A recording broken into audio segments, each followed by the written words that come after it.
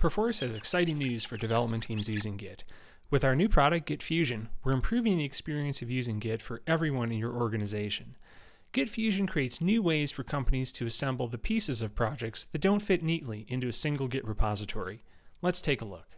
When I start a project with Git, I create a repository, and then maybe a few clones for my own use or for sharing with my team.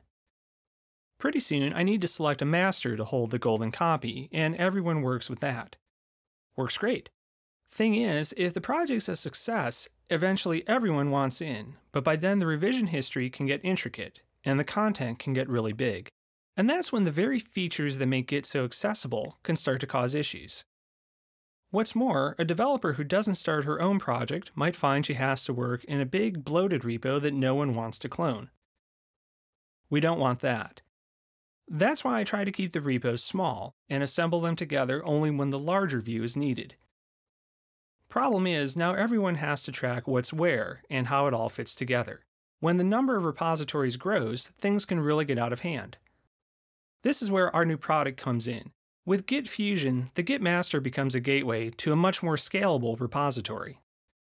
As with any upstream Git repo, I can push, pull, clone, and fetch. But Git Fusion does two important things that a normal Git repo doesn't.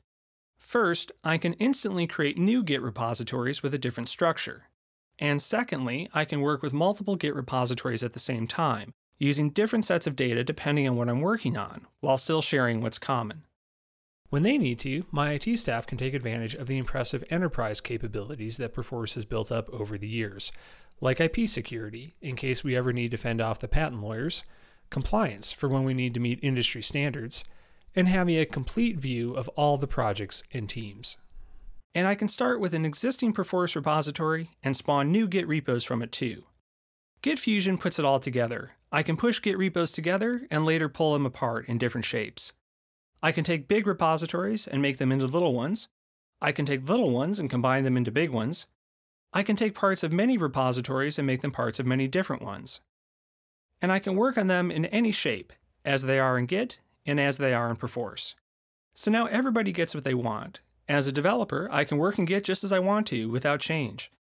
Release managers can assemble their projects using proven engineering processes, and administrators know they'll have a reliable and secure system. Perforce can scale to thousands of users, millions of files, and hundreds of terabytes of data, so there's room and capacity for every Git repository I've got, now and in the future. For more information on our new product or to schedule a demo of Git Fusion, visit perforce.com/gitfusion.